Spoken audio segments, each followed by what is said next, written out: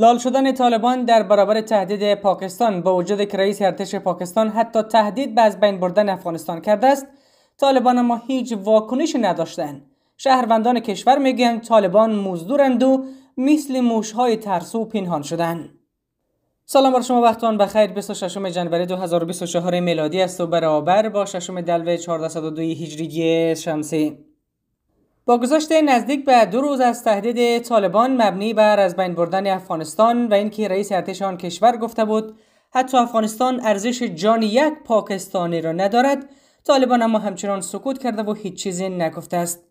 با وجود که برخی چهرههای سیاسی و نظامی واکنش به این موضوع داشته است و این خبر باستاب گسترده در رسانه های ملی و بین‌المللی داشتند طالبان اما همچنان سکوت کردند. جنرال آسیم منیر خطاب به طالبان گفته بود که زندگی یک انسان پاکستانی از کل افغانستان مهمتر است و هشدار داده که در صورت لزوم کل افغانستان را ویران خواهد کرد. هرچند که شمار از مقام های دولت پیشین از جمله وزیر خارجه و رئیس امنیت ملی به اظهارات این مقام پاکستانی واکنش نشان داده است مقام های طالبان اما هنوز سکوت کردند. حنفی اتمر این اظهارات رئیس ارتش پاکستان را سخن نابخرد توصیف کرده و گفته است که این که زندگی یک پاکستانی از کل افغانستان مهمتر است اوج بیخردی پاکستانی ها را نشان می دهد. رحمت الله نبیل هم گفته است که پاکستان دشمن تاریخی افغانستان است و سخنان آسم منیر نماینگر سیاست بلند مدت اسلام آباد در قبال افغانستان می باشد. هنوز علت سکوت طالبان مشخص نشده است اما برخی شهروندان کشور در واکنش به سکوت این گروه در شبکه اجتماعی از طالبان به عنوان ترسوها و مزدوران پاکستان یاد کردند. به باور شهروندان کشور گروه طالبان در خدمت پاکستان است و هر آنچه که بادارش دستور می‌دهد انجام می‌دهد. آنان میگن شاید تا هنوز از اسلام آباد دستور نرسیده است که چی گونه واکنش در قبال سخنان عاصم منیر داشته باشد. زین رو سکوت کرده و منتظر هستند.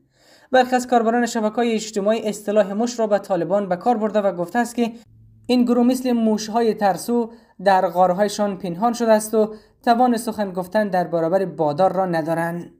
به باور شهروندان کشور گروه طالبان فقط برای خلق وحشت و کشتن مردم خودشان خلق شده است و چون این دستور ندارد که بدون اجازه اسلام آباد و راولپیندی سخن حتی در برابر یک مقام پاکستانی بزند.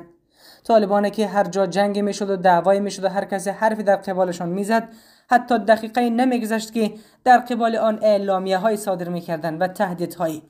اما با وجود گذشت ساعتها سکوت مطلق در قبال تهدید پاکستان کرده است. هرچند که مدتی از روابط بین طالبان و پاکستان شکر آب شده است اما برخلاف های لفظی قبلی که عمدتا بر اتهام استفاده طالبان پاکستانی از خاک افغانستان متمرکز بود اکنون ترین مقام نظامی پاکستان طالبان را تهدید کرده است که به پاکستان به چشم بد ننگرد وگرنه حاضر است که همه چیز را قربانی کرده و حتی طالبان و افغانستان را از بین ببرد.